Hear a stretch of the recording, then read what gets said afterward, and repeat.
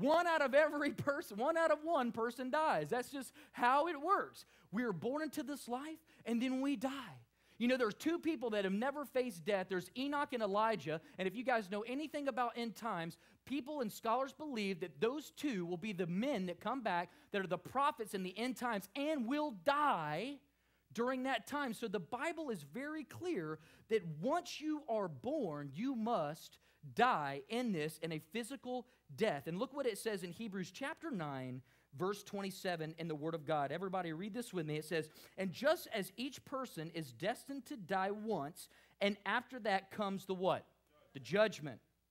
So also Christ died also for all time as a sacrifice to take away the sins of many people. He will come again, not to deal with our sins, but to bring salvation to those who eagerly are waiting him. So, what do we know about Scripture? We know that in Scripture, that everyone is destined to die, and then we face the judgment. So, our sinful nature, just to kind of give you an idea of what we're talking about, our sinful nature, when we were born into this world, we were born into a sinful nature. No one, the, the Bible says that there's none righteous, not one, except for that whom was brought here through a virgin birth, whose name was Jesus. See, he wasn't birthed into this natural world the way that we were. He was birthed by the Holy Spirit, born into a sinless life. And see, here's the good news of the gospel today. Here's the good news of Jesus Christ that he was born of a virgin, born here, sinless and perfect that he died, went to a cross, died, and he rose again on the third day, not only in spirit, but in bodily form. He was risen from the dead on the third day. And because he rose from the dead on the third day, that you and I can have fellowship with the Father by putting our faith and our trust and our hope in the name of Jesus. That is the good news of the gospel today. God wants us to understand that the gospel is the only way that the gospel of Jesus Christ, see, that's why when, when we're talking about works and living a life, it is un, we are unworthy. We are so unworthy. That's why our, our works are like filthy rags. But because of God's righteousness, because of His holiness, because of who He was, because of the blood, because of the cross and the sacrifice, you and I can have fellowship with God today. And that's really, really good news. So we know, know we know this that when we die, Everyone is born here on this earth, that death is certain. We also know that once we die, we will face the judgment. The second thing that we know is this is that the soul and the body will separate. The soul and the body will separate. So, this body that is hosting around this soul is only temporal. And many of you guys say, Amen.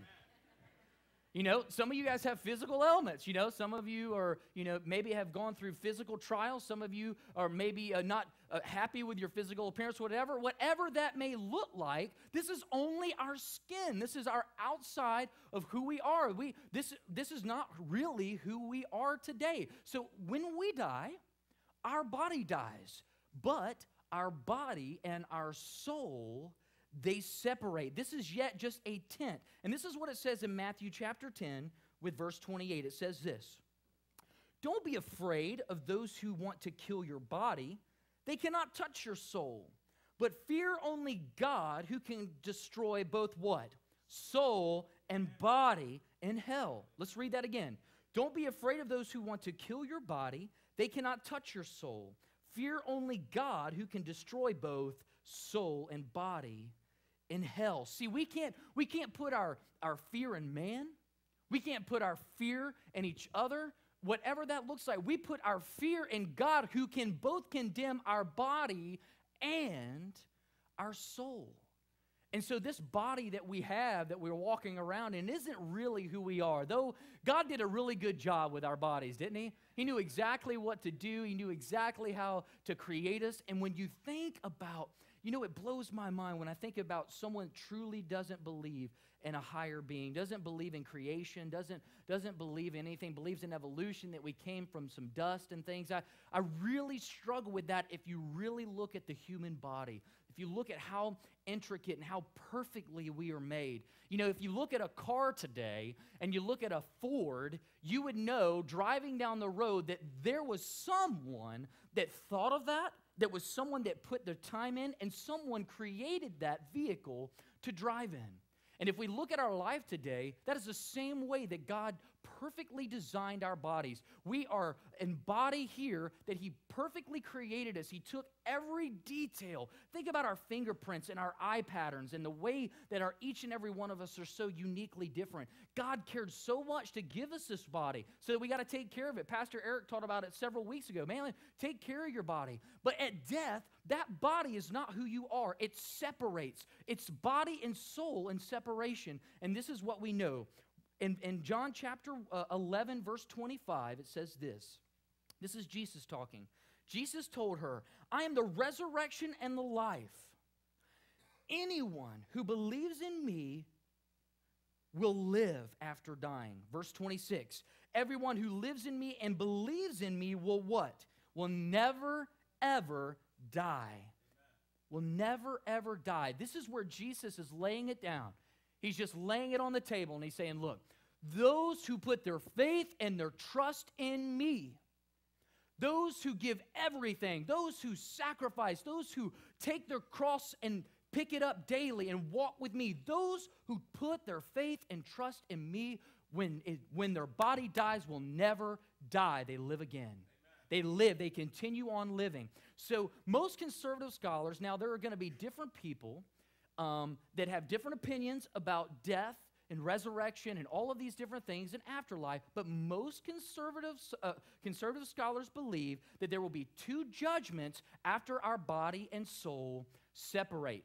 So let's take just a few moments together and look at what these judgments will be. The first judgment here is this. Now, as far as time periods and things like that, when I'm, when I'm talking about first judgments, I'm just talking about the first one that we're going to be talking about today is this the great, the great white throne judgment. And we find this in Revelation chapter 20, verses 11 through 12. So this is the great white throne judgment, and we're going to be reading that in just a minute. But this judgment here is when this is for the non believer.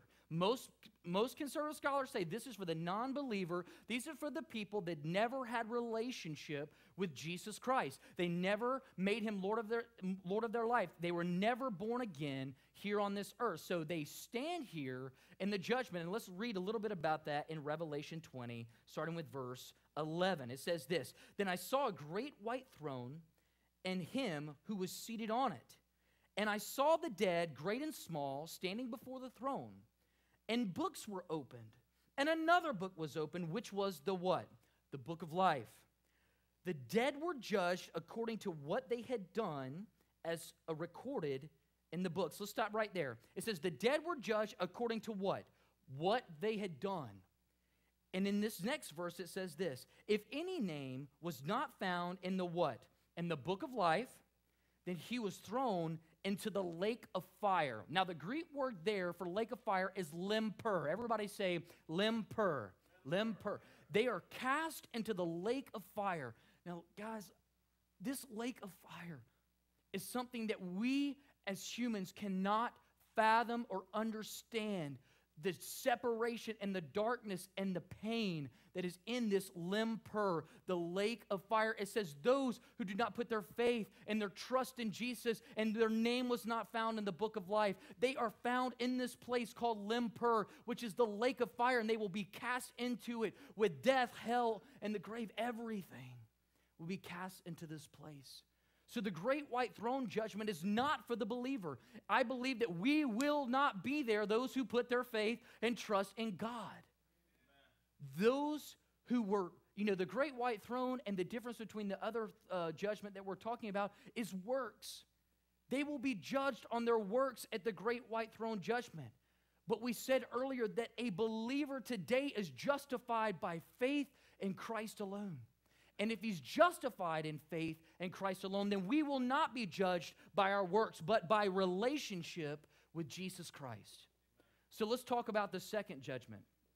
The second judgment is this this is the judgment seat of Christ. We find that is this in Romans chapter 14, starting with verse 10. It says this For we all, this is he's talking to believers here, for we will all stand before God's what? Judgment seat. Say it with me. Judgment seat. And in, in 2 Corinthians chapter uh, 5, verse 10, it says, For we must all appear before the what? The judgment seat of Christ, that each one may receive what is due him for the things done while in the body, whether good or bad. Now, the Greek word for judgment seat here is bema. Bema has a lot of history um, throughout the Bible and, and in Greek and Roman times. Bema seat was the seat uh, that was used for judicial. So if you went before the judge, you would stand up onto the Bema seat, and then they would judge you based on what you had done. So as you were walking through and you were guilty or non guilty, you would step up onto the Bema seat, and then they would judge you based on your good deeds or your good works. The same thing happened in the Greek Olympic, Olympics. If you guys follow the Olympics at all, you know there's those towers and things that you stand up on. That is a Bema seat. When you stand up on there, the Greek judge would come and you would bow down and you would receive what is due you. They would put an olive crown on the top of their heads and then they would receive their rewards. This judgment seat of Christ is for the believer based on what you and I did on earth for Jesus Christ and for his namesake. Now, we are not there in the great white throne judgment. We believe, and I believe, that salvation for us was determined here on earth. Our salvation was determined here on earth. The great white throne judgment, they are judged based on their works. So the judgment seat of Christ is a place where you and I receive the rewards for what we did here on earth. Now, imagine this. Everybody likes to receive rewards, right? You know, if, you, if you're American Idol followers, if you guys follow that, you know, they're all there and, and they're getting judged. No one likes to be judged, right? I mean, no one, I don't like to be judged. I mean, you don't like to be judged. I think in our human nature, we just don't like to be judged, right? I think that, you know, there's just something about somebody doing a scorecard and writing it in. It's scary, you know? And, uh, you know, I can imagine like American Idol and all these things, you know, it's very, very difficult. But imagine standing before the creator of the universe. And it's just you. There's nobody else.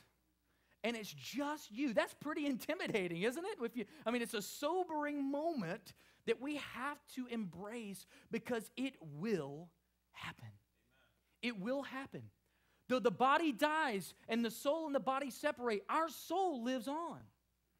We live on to go into our next phase of our life. You know, you know, our body and our soul are two different things. We live on, and just as we talked about earlier, if our body dies, we are still so much alive. Someone at your funeral may be making macaroni and cheese, but you are still alive. Amen. And whether you are here standing at the judgment seat of Christ, or you are there at the great white throne judgment, all is determined with what you did with Christ here on earth. Amen. Everything is wrapped up in Jesus Christ. What happens after we die? Or, here's the deal I believe we're in the last days, and I believe that God could crack that eastern sky. We're all going to die unless that happens. And I believe that everything that we have, everything that we are, is based on what we did with Christ when we were here. But can you imagine standing at the judgment seat of Christ? And you're standing before the Savior, the one who saved you from hell and damnation and separation from God. And you look at him for the very first time. Can you imagine in your heart and in your mind what is going through there as you're standing before the Savior? All you're going to want to do is worship him. All you're going to want to do is just bow before him for thousands and thousands and thousands of years because of what he has done. And in that moment, you will see Christ for who he really is and you get down on your knees and you're before him and you and he's saying no son get up. No daughter get up. I want to reward you. I want to thank you